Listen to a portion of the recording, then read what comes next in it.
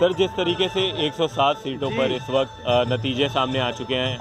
पचास से अधिक पर आम आदमी पार्टी इस वक्त जीत चुकी है जिस तरीके से मतलब रुझान आए थे जिसमें जिस तरीके से उसमें आम आदमी पार्टी को बढ़त दिखाई जा रही थी 180 सीट के आसपास उस हिसाब से जो इस वक्त नतीजे निकल कर सामने आ रहे हैं आपका क्या कहना है? नतीजे तो है। देखो, पहले 116 तब अभी बढ़त थी बीजेपी की। अब 104 पे आ गई है।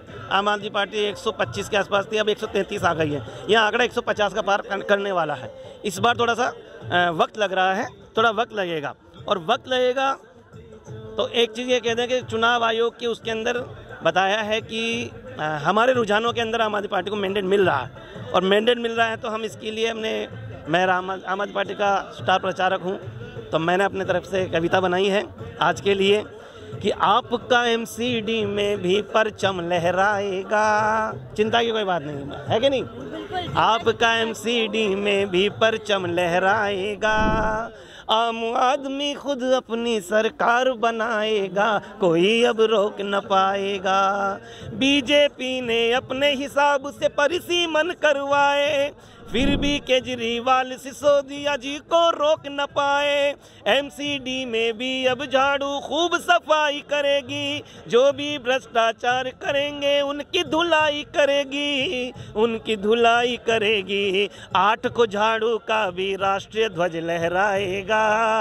आठ को झाड़ू का भी राष्ट्रीय ध्वज लहराएगा। चौबीस में फिर लाल किले पर ध्वज फहराएगा। कोई अब रोक न पाएगा। तो कुल मिलाकर के आम आदमी पार्टी की सरकार बन रही है।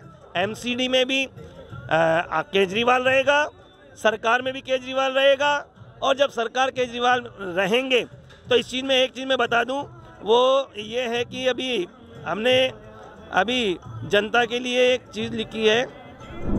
आज के दिन ही ये सब कुछ क्यों हुआ? क्योंकि विधि का रचा हुआ, ये सब विधि का रचा हुआ। क्यों?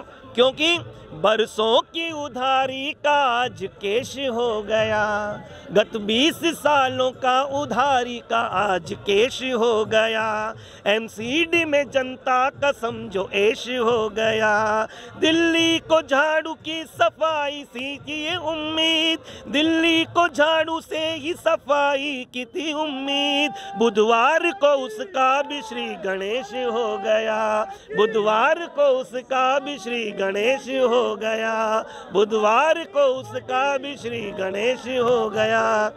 तो कुल मिलाकर के आम आदमी पार्टी जीत रही है, बीजेपी हार रही है और केजरीवाल पूरे देश में पहुँचने वाले हैं, क्योंकि विकीपीडिया ने पहले से ही आम आदमी पार्टी को राष्ट्रीय पार्टी का दर्जा दे दिया है। और अंत में जो नतीजे निकल कर सामने आएँगे कितनी सीटें आने वाली हैं आम आदमी पार्टी को? 150 के पास हमारी पार्टी की सीटें आने वाली एक सौ पचास के पास? बिल्कुल। एक सौ पैंतीस तो अभी हो है। तो जैसा कि देखने में आ रहा है कि फ़िलहाल जो इस वक्त स्थिति है आम आदमी पार्टी 135 सीटों पर बढ़त बनाए हुए है। वहीं अगर बात हम बीजेपी की करें तो बीजेपी 102 सीटों पर इस वक्त आगे है।